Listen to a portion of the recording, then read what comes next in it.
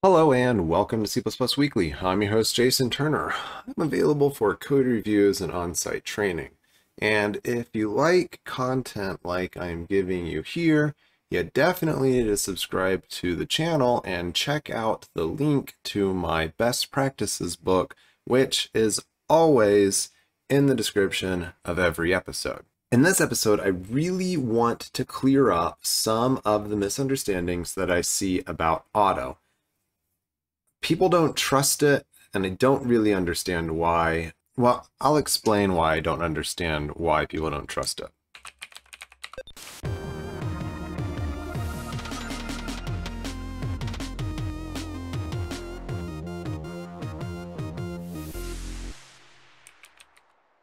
This is from Bjarne Stroustrup's C++11 FAQ. So this is straight from the creator of C++ himself. And we're starting here. The auto feature has the distinction to be the earliest to be suggested and implemented. I had it working in my Cfront implementation in early 1984, but was forced to take it out because of C compatibility problems. Those compatibility problems disappeared when C++ 98 and C99 accepted the removal of implicit int. That is, both languages require every variable and function to be defined with an explicit type. The old meaning of auto, which was an explicit way of saying this is a local variable, is now illegal. Several committee members trawled through millions of lines of code finding only a handful of uses, and most of those were in test suites or appeared to be bugs.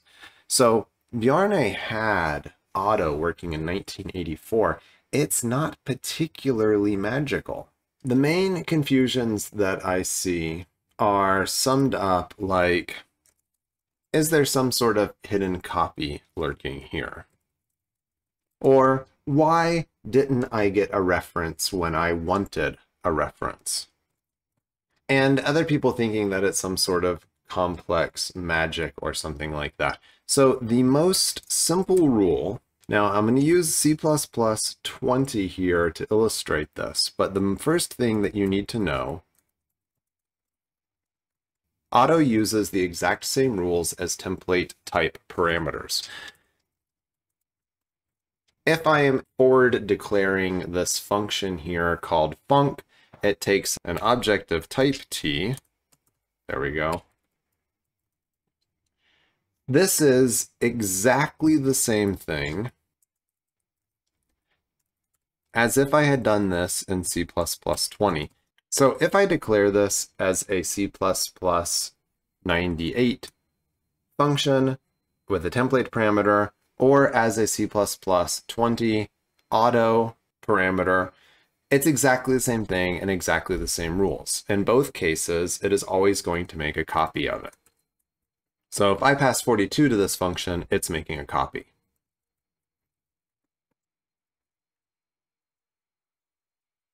And if I call it here with a string, it's going to make a copy. You can see that I used auto here just to illustrate to the point that this is a string. This is a string value. And we should be able to actually see the difference in the compiled output here, 109 instructions. And if I make this take a reference, then no copy should be generated by the compiler in this case. Yes, and it's now 33 instructions here. If this is const auto reference, then it is a const reference to any type of thing. So let's go ahead and further illustrate this here now. Auto is never ever going to deduce a reference type for you. So this is a copy. No question, this is a copy. If I am returning a reference to some value, this is going to be a copy of the returned value. And again, this should be something that we should be able to illustrate. Let's see, 73 instructions here. Now, if I put a reference here, this will still compile. I'm getting an unused variable uh, error here. So let's just go ahead and make sure that it does still compile. Because const will be deduced, but reference will never be deduced. And we can see that this code's basically doing nothing. It's getting a reference to something and then passing it to something expecting a reference, so the actual compiled binary is very small. I get rid of this reference here, and the binary gets much bigger again. Now let's go ahead and take const off of this parameter up on line 12. And this is still going to compile because, like I said, constness is deduced. There's probably some of you saying, but wait a minute, if I use decltype auto, then I can deduce a reference here. And that is true, but that's kind of outside of the scope of this conversation. Decltype auto is basically really something you should only see in very special cases. So that's what it comes down to really is it's never going to deduce a reference, but it can deduce constness and it follows the same rules as template type parameters. It's really, I think, just that straightforward. But I'm going to do a follow-up episode about this where I'm going to discuss why you should generally prefer auto. And I'm going to go ahead and leave this example exactly how it is for that episode. So a future Jason here, after I recorded this episode and then started thinking about it some more, and I've already recorded the follow-up episode to this one, I realized that there's a couple of details that I should probably mention, and that is mostly about pointer. So I said that auto uses the exact same rules as template type parameters, but I didn't really mention what that means with regard to pointers. So I'm just going to do a quick look at this. I just created something that is a pointer to an integer and something that is a zero initialized int. If I did auto p copy equals p, this is still going to be a pointer. And I added the icopy here so that I get a compiling build.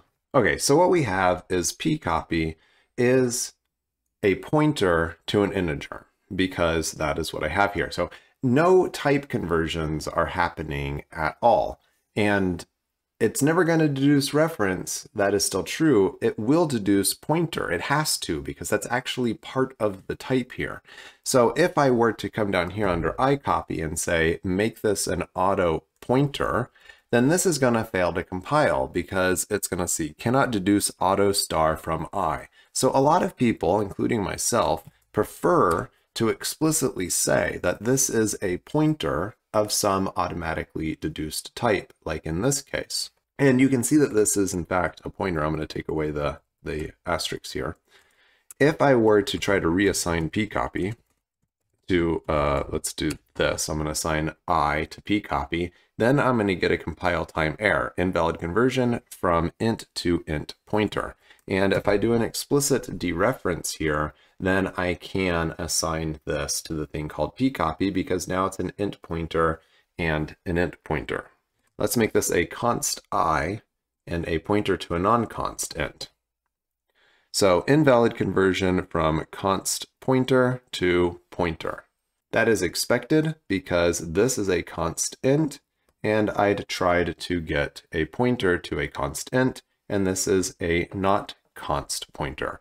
Now, if I go back and I add const here to the original p, like we said before, constness will be deduced. So this is a const pointer to an int because this was a const pointer. So constness being deduced here, but we need to take it one step further just to be clear. This one, the thing called icopy, this is a copy. Const does not apply in this case. And again, it's the same exact rules that we would have gotten from a template. So if I make this a reference, then this is a const reference. I can't possibly assign this a new value because it is a reference to a const int. If I take away the ampersand, so it's no longer a reference, it is now just a plain old copy, and I can reassign it. So constness will be deduced for references and pointer types. And our value types are always going to be copies. So it's never going to implicitly create a reference for you. Now, since I mentioned at the beginning of this episode that decltype is a little bit of an advanced topic, I'm just going to go ahead and throw this in here. If I say decltype auto, in this case, it is getting the exact type of i. So the exact type of i is a const int. That makes i copy a const int, and then I can no longer assign to it.